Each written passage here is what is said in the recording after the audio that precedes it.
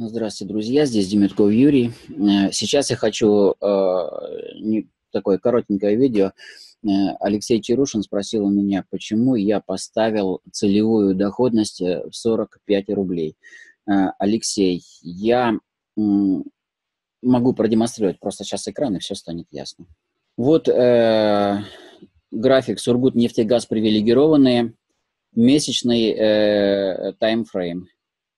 Посмотри, вот здесь ленты Бойлинджера, видишь, вот э, стоит верхняя часть лент Бойлинджера, я поставил здесь, и очень похоже, что это уровень э, сопротивления, потому что акции исторически доходили до этого уровня и шли вниз. Этот уровень как раз примерно 45 рублей за штуку. Сейчас ситуация благоприятная, у компании есть прибыль, у компании э, назначены достаточно большие дивиденды, дивидендная доходность, поэтому я прикинул, что вот, вот по месячному графику э, э, я принял решение поставить э, take profit именно на этом уровне.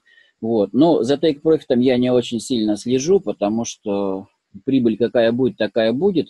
Вот. А пристально я слежу за стоп-лимитом, как всегда, который ограничивает мои убытки. И пока он стоит у меня на уровне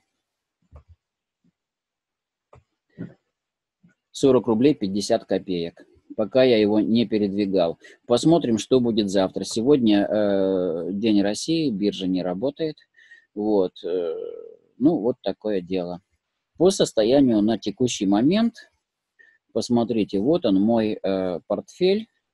Э, вы видите, Сургут нефтегаз привилегированные 64% от активов, взят сильно с плечом на 400 с лишним тысяч, вот 10 тысяч рублей, я, 10 э, тысяч штук, я ничуть не вру, значит, э, вот он кредит мой, 418 тысяч рублей, который я взял у брокера. На втором месте по, эм, по активам стоит РУС-28, про который я неоднократно говорил, и ВЭБ-23. Это евробонды, еврооблигации. Э, там большая часть, и сейчас они, э, как вы понимаете, находятся в залоге под этот кредит. Вот. Ну а дальше там Распадская, Полиметалл, система АО, Мосбиржа и НЛ России, и МТС. Возможно, я в ближайшее время буду увеличивать долю НЛ, который уже подрос, и, э, может быть, МТС, у которых тоже намечается общее собрание акционеров, там тоже вроде бы неплохая э, дивидендная доходность. По НЛ, сейчас давайте посмотрим, что у нас по НЛ. Вот он, НЛ, он э, ну, вот здесь вот э, где-то назначена дивидендная доходность, вот, вот по-моему, тоже в тот же период, и он уже начал расти. Ну, я надеюсь, что график у э, Сургутнефтегаз привилегированных тоже будет подобный, то есть э, так же, как НЛ, они будут расти, потому что ситуация сейчас у компании очень неплохая.